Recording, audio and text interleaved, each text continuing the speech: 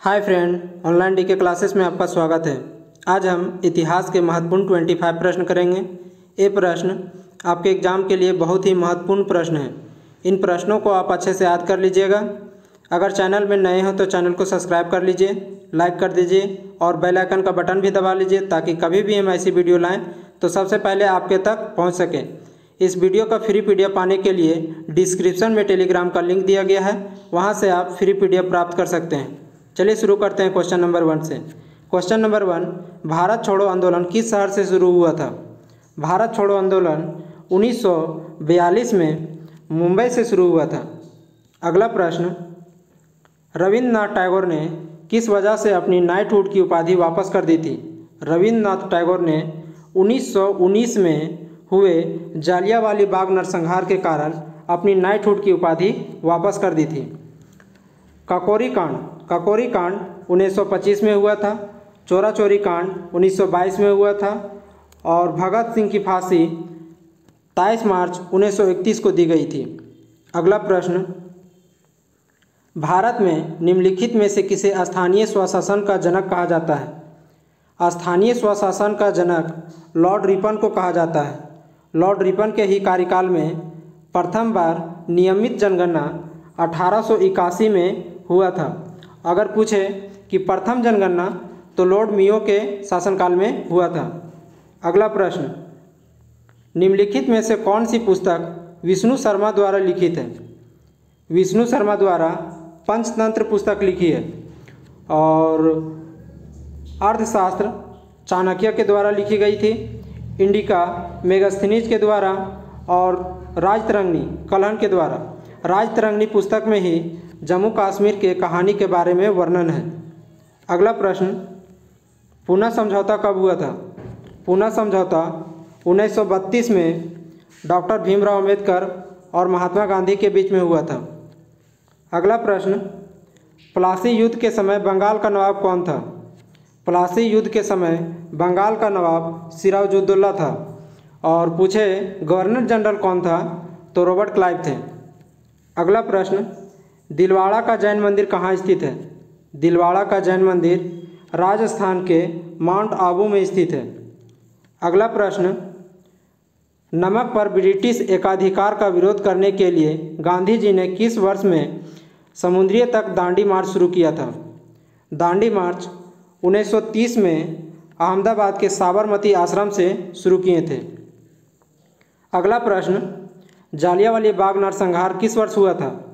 जालियावाली बाग नरसंहार 13 अप्रैल 1919 में हुआ था। अगला प्रश्न, यंग बंगाल आंदोलन किसने शुरू किया था?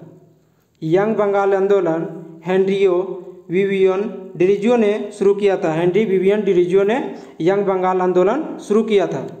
अगला प्रश्न, भारतीय राष्ट्रीय कांग्रेस की पहली महिला अध्यक्ष कौन थी? भारतीय राष्ट्रीय कांग्रेस की पहली महिला अध्यक्ष एन एनी बेसेंट थी। अगर पूछे, भारतीय महिला? तो सरोजनी नायडू हो जाएगा। अगला प्रश्न, चार मीनार निम्नलिखित में से किस शहर में स्थित है? चार मीनार हैदराबाद में स्थित है। चार मीनार का निर्माण मोहम्मद कुली कुतुब शाह ने करवाया था। अगला प्रश्न, गुप्त साम्राज्य ने निम्नलिखित राजाओं में से कौन एक अच्छा वीणा वादक था? अच्छा वीणा वादक समुद्रगुप्त थे अगला प्रश्न, अढ़ाई दिन का झोपड़ा का निर्माण किसने करवाया था? अढ़ाई दिन का झोपड़ा का निर्माण कुतुबुद्दीन ऐबक ने करवाए थे। अढ़ाई दिन का झोपड़ा अजमेर में स्थित है। कुली कुतुबुद्दीन ऐबक गुलाम वंश के संस्थापक थे। अगला प्रश्न, सीधी कार्यवाही दिवस की घोषणा किसने की थी? सीधी कार्यवाही दिवस की घोषणा मोहम्मद अली जिन्ना ने की थी।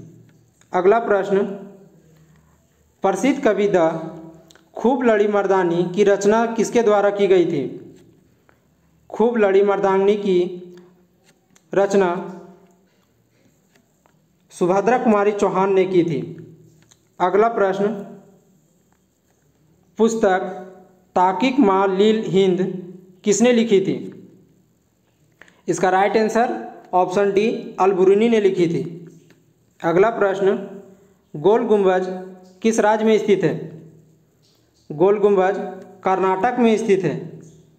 अगला प्रश्न 1938 और उन्नीस में भारतीय राष्ट्रीय कांग्रेस के अध्यक्ष के रूप में किसे निर्वाचित किया गया था? उन्नीस सौ अड़तीस में सुभाष चंद्र बोस को निर्वाचित किया गया था। अगर पूछे राष्ट्र, भारतीय राष्ट्रीय कांग्रेस का स्थापना अठारह सौ पचासी में हुआ था। इसके संस्थापक ए ओ ह्यूम थे और पहले अध्यक्ष वेमेश चंद्र बनर्जी थे। अगला प्रश्न, सरवन बेलगोला में स्थित गोमतेश्वर मंदिर किस सामग्री से बनी है? गोमतेश्वर मंदिर ग्रेनाइट से बनी है। अगला प्रश्न बाण भट्ट किस राजा के दरबारी कवि थे? बाण भट्ट हर्षवर्धन के दरबारी कवि थे। अगला प्रश्न स्वतंत्रता पूर्व भारत में किस आंदोलन ने कपास उत्पादन को प्रोत्साहन दिया? इसका राइट आंसर ऑप्शन डी स्वदेशी आंदोलन। स्वदेशी आंदोलन 1905 में प्रारंभ हुआ था। अगला प्रश्न दिल्ली सल्तनत का सबसे बड़ा विस्तार किसके शासनकाल में देखा गया? सबसे बड़ा विस्तार मोहम्मद बिन तुगलक के शासनकाल में देखा गया। दिल्ली सल्तनत में टोटल पाँच राजवंशों ने शासन किए थे। अगला प्रश्न, तत्वबोधनी सभा की स्थापना किसने की थी?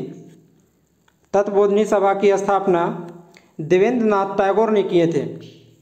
अगला प्रश्न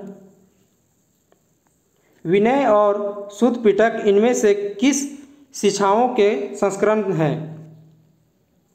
इसका राइट आंसर ऑप्शन डी हो जाएगा, महायान बौद्ध धर्म। बौद्ध धर्म के बौद्ध धर्म के संस्थापक महात्मा बुद्ध थे।